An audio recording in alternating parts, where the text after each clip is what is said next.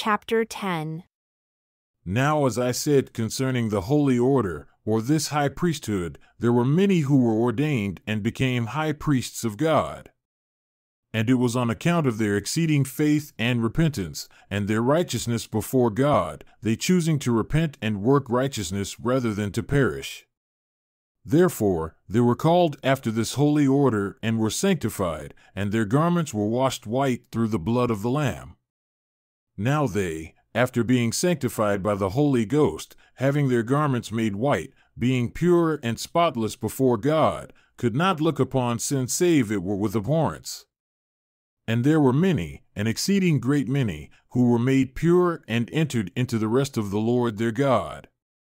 And now, my brethren, I would that ye should humble yourselves before God and bring forth fruit meet for repentance, that ye may also enter into that rest. Yea, humble yourselves even as the people in the days of Melchizedek, who was also a high priest after this same order which I have spoken, who also took upon him the high priesthood forever.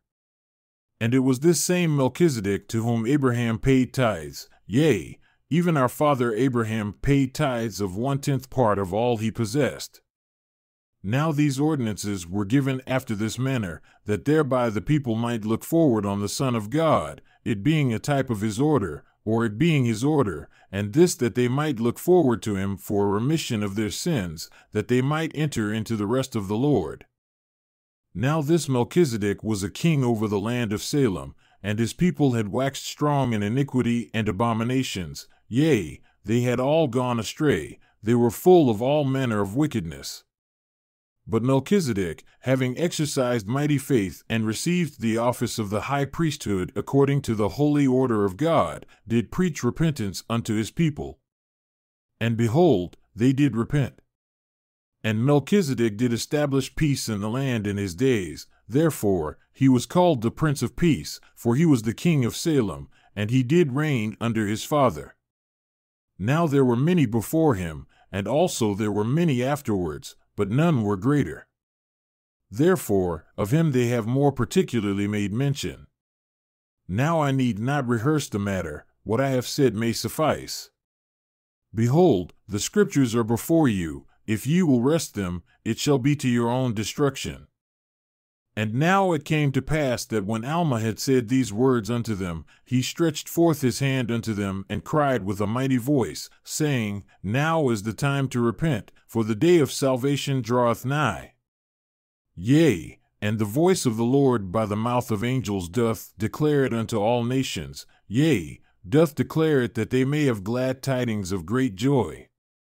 Yea, and he doth sound these glad tidings among all his people, yea, even to them that are scattered abroad upon the face of the earth, wherefore they have come unto us. And they are made known unto us in plain terms, that we may understand that we cannot err, and this because of our being wanderers in a strange land. Therefore, we are thus highly favored, for we have these glad tidings declared unto us in all parts of our vineyard. For behold, Angels are declaring it unto many at this time in our land, and this is for the purpose of preparing the hearts of the children of men to receive his word at the time of his coming in his glory. And now we only wait to hear the joyful news declared unto us by the mouth of angels of his coming, for the time cometh, we know not how soon. Would to God that it might be in my day, but let it be sooner or later, and it I will rejoice.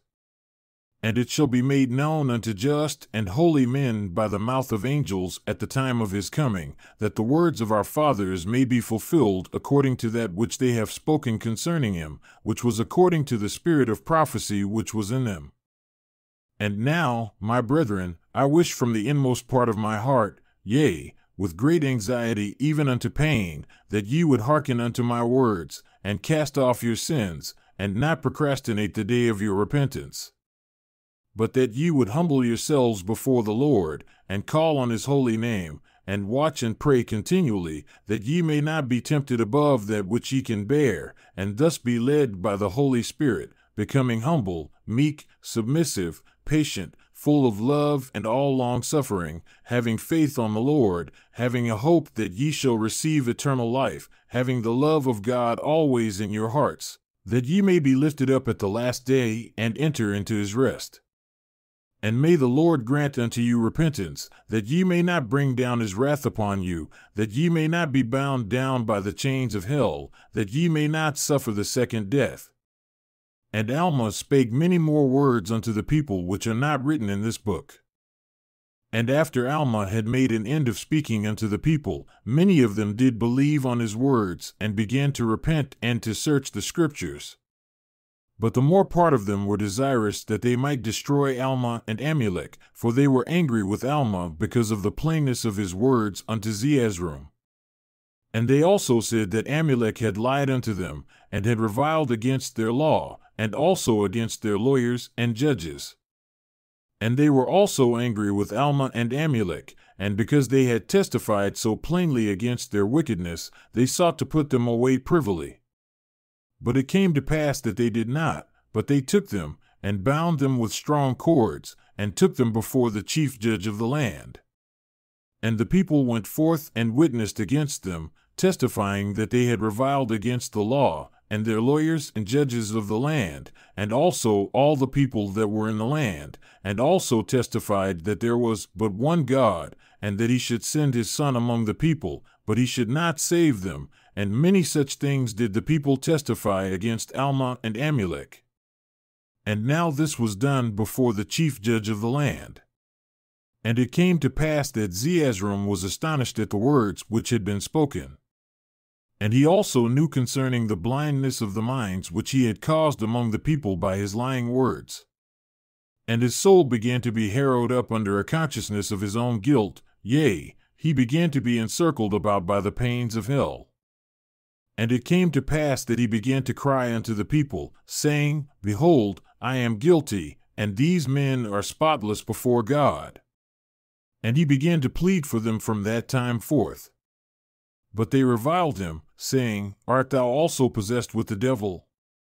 And they spit upon him and cast him out from among them, and also all those who believed in the words which had been spoken by Alma and Amulek. And they cast them out and sent men to cast stones at them. And they brought their wives and children together, and whosoever believed or had been taught to believe in the word of God, they caused that they should be cast into the fire. And they also brought forth their records, which contained the holy scriptures, and cast them into the fire also, that they might be burned and destroyed by fire. And it came to pass that they took Alma and Amulek and carried them forth to the place of martyrdom, that they might witness the destruction of those who were consumed by fire. And when Amulek saw the pains of the women and children who were consuming in the fire, he was also pained, and he said unto Alma, How can we witness this awful scene? Therefore, let us stretch forth our hands and exercise the power of God which is in us, and save them from the flames. But Alma said unto him, The Spirit constraineth me that I must not stretch forth mine hand. For behold, the Lord receiveth them up unto himself in glory. And he doth suffer that they may do this thing, or that the people may do this thing unto them according to the hardness of their hearts, that the judgments which he shall exercise upon them in his wrath may be just.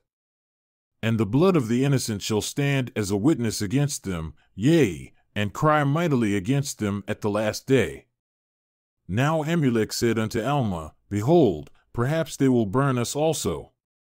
And Alma said, Be it according to the will of the Lord. But behold, our work is not finished, therefore they burn us not. Now it came to pass that when the bodies of those who had been cast into the fire were consumed, and also the records which were cast in with them, the chief judge of the land came and stood before Alma and Amulek as they were bound, and he smote them with his hand upon their cheeks, and said unto them, After what ye have seen, will ye preach again unto this people that they shall be cast into a lake of fire and brimstone?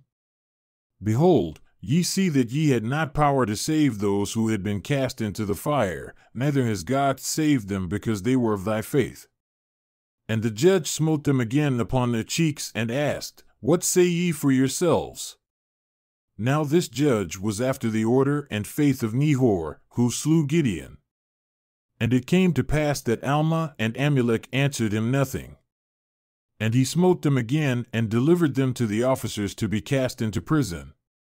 And when they had been cast into prison three days, there came many lawyers, and judges, and priests, and teachers, who were of the profession of Nehor, and they came in unto the prison to see them. And they questioned them about many words, but they answered them nothing. And it came to pass that the judge stood before them and said, Why do ye not answer the words of this people? Know ye not that I have power to deliver ye up unto the flames? And he commanded them to speak, but they answered nothing. And it came to pass that they departed and went their ways, but came again on the morrow. And the judge also smote them again on their cheeks. And many came forth also and smote them, saying, Will ye stand again and judge this people and condemn our law? If ye have such great power, why do ye not deliver yourselves? And many such things did they say unto them, gnashing their teeth upon them, and spitting upon them, and saying, How shall we look when we are damned? And many such things, yea, all manner of such things did they say unto them. And thus they did mock them for many days. And they did withhold food from them that they might hunger, and water that they might thirst, and they also did take from them their clothes that they were naked, and thus they were bound with strong cords and confined in prison. And it came to pass, after they had thus suffered for many days, and it was on the twelfth day in the tenth month in the tenth year of the reign of the judges over the people of Nephi, that the chief judge over the land of Ammonihah, and many of their teachers, and their lawyers went in unto the prison where Alma and Amulek were bound with cords. And the chief judge stood before them and smote them again, and said unto them, If ye have the power of God, deliver yourselves from these bands, and then we will believe that the Lord will destroy this people according to your words. And it came to pass that they all went forth and smote them, saying the same words, even until the last. And when the last had spoken unto them, the power of God was upon Alma and Amulek, and they arose and stood upon their feet. And Alma cried, saying, How long shall we suffer these great afflictions, O Lord? O Lord, give us strength according to our faith which is in Christ, even unto deliverance. And they brake the cords with which they were bound. And when the people saw this, they began to flee, for the fear of destruction had come upon them. And it came to pass that so great was their fear that they fell to the earth and did not obtain the outer door of the prison. And the earth shook mightily, and the walls of the prison were rent in twain so that they fell to the earth, and the chief judge, and the lawyers, and priests, and teachers, who smote upon Alma and Amulek, were slain by the fall thereof. And Alma and Amulek came forth out of the prison, and they were not hurt, for the Lord had granted unto them power according to their faith which was in Christ. And they straightway came forth out of the prison, and they were loosed from their bands. And the prison had fallen to the earth, and every soul who was within the walls thereof, save it was Alma and Amulek, were slain. And they straightway came forth into the city. Now the people, having heard a great noise, came running together by multitudes to know the cause of it. And when they saw Alma and Amulek coming forth out of the prison, and the walls thereof had fallen to the earth, they were struck with great fear and fled from the presence of Alma and Amulek, even as a goat fleeth with her young from two lions, and thus they did flee from the presence of Alma and Amulek. And it came to pass that Alma and Amulek were commanded to depart out of that city. And they departed and came out, even into the land of Sidom. And behold, there they found all the people who had departed out of the land of Ammonihah, who had been cast out and stoned, because they believed in the words of Alma. And they related unto them all that had happened unto their wives and children, and also concerning themselves, and of their power of deliverance. And also Zeezrom lay sick at Sidom with a burning fever, which was caused by the great tribulations of his mind on account of his wickedness, for he supposed that Alma and Amulek were no more. And he supposed that they had been slain by the cause of his iniquity. And this great sin, and his many other sins, did harrow up his mind until it did become exceeding sore, having no deliverance. Therefore, he began to be scorched with a burning heat. Now, when he heard that Alma and Amulek were in the land of Sidom, his heart began to take courage. And he sent a message immediately unto them, desiring them to come unto him. And it came to pass that they went immediately, obeying the message which he had sent unto them, and they went in unto the house, unto Zeezrom. And they found him upon his bed, sick, being very low with a burning fever, and his mind also was exceeding sore because of his iniquities. And when he saw them, he stretched forth his hand and besought them that they would heal him. And it came to pass that Alma said unto him, taking him by the hand, Believest thou in the power of Christ unto salvation? And he answered and said, Yea, I believe all the words that thou hast taught. And Alma said, If thou believest in the redemption of Christ, thou canst be healed. And he said, Yea, I believe according to thy words. And then Alma cried unto the Lord, saying, O Lord our God, have mercy on this man, and heal him according to his faith which is in Christ. And when Alma had said these words, Zeezrom leaped upon his feet and began to walk. And this was done to the great astonishment of all the people, and the knowledge of this went forth throughout all the land of Sidom. And Alma baptized Zeezrom unto the Lord, and he began from that time forth to preach unto the people. And Alma established a church in the land of Sidom, and consecrated priests and teachers in the land, to baptize unto the Lord whosoever were desirous to be baptized. And it came to pass that they were many, for they did flock in from all the region round about Sidom and were baptized. But as to the people that were in the land of Ammonihah, they yet remained a hard hearted and a stiff necked people. And they repented not of their sins, ascribing all the power of Alma and Amulek to the devil, for they were of the profession of Nehor, and did not believe in the repentance of their sins. And it came to pass that Alma and Amulek, Amulek having forsaken all his gold, and his silver, and his precious things, which were in the land of Ammonihah, for the word of God, he being rejected by those who were once his friends, and also by his father and his kindred. Therefore, after Alma having established the church at Sidom, seeing a great check, yea, seeing that the people were checked as to the pride of their hearts, and began to humble themselves before God, and began to assemble themselves together at their sanctuaries to worship God before the altar, watching and praying continually that they might be delivered from Satan and from death and from destruction. Now, as I said, Alma having seen all these things, therefore he took Amulek and came over to the land of Zarahemla, and took him to his own house, and did administer unto him in his tribulations, and strengthened him in the Lord. And thus ended the tenth year of the reign of the judges over the people of Nephi.